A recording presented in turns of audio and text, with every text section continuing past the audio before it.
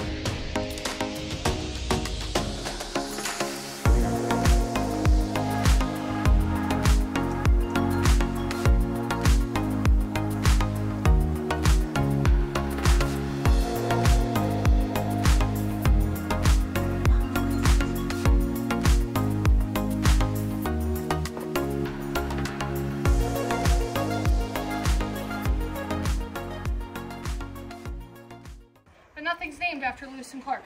So this will be called the Lewis and Clark National Monument. Guys, that's the name. But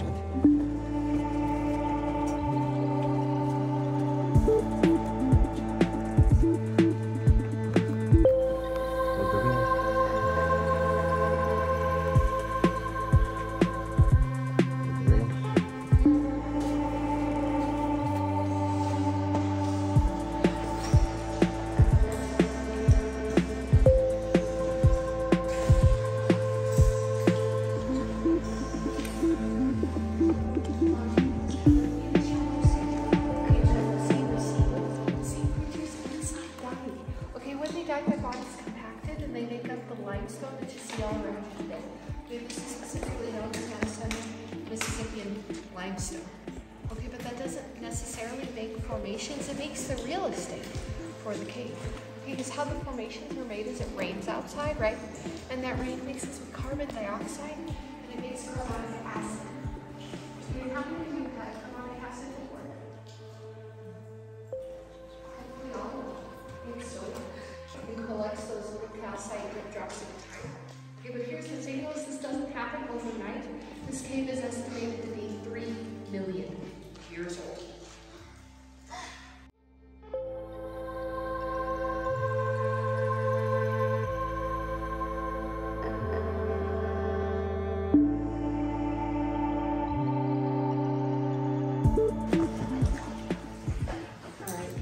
guys, this is the lower cathedral room. Okay, the lower cathedral room's name is kind of alive because it's not its own room. It's just a continuation of the room above. Okay? Because that room starts from the roof side all the way to the back corner is practically 304 yards. Lie beyond that formation right there. Okay, this is the second the gap. Okay, but here's the thing, is remember I talking, talked about flowstones and dripstones, right? I got another example of flowstone for you. This guy right here. Okay, this is known as ribbon rock. What happens with ribbon rock? Okay, so this was from the MCC. Okay, because here's the thing, when the CCC was here, they put asphalt.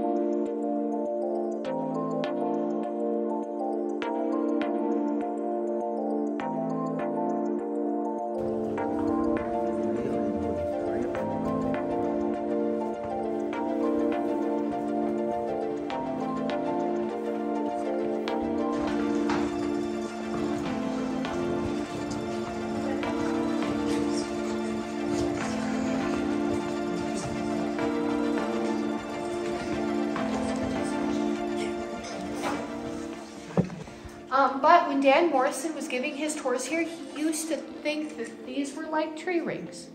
Okay, so by his estimation, right, this would take like what? 20 years. So he would encourage people to take souvenirs home. Oh. Somewhere between 10 and 20,000 formations were lost.